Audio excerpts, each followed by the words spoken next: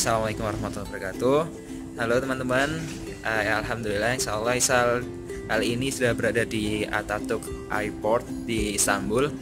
Ya untuk transit ya karena untuk ke Amsterdam harus transit dulu di sini pakai Turkish Airlines. Ya udah terpaksa 5 jam nungguin kayak orang hilang gitu di sini sendirian.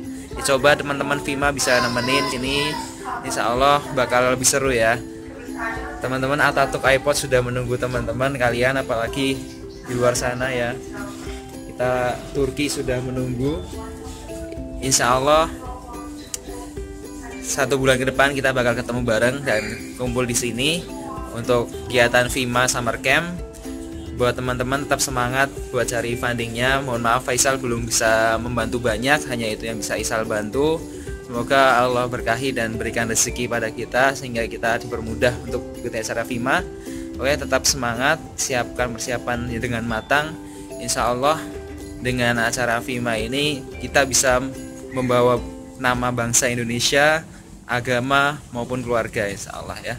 Oke, teman-teman FIMA delegation yang luar biasa, tetap semangat, keep sharing inspiring.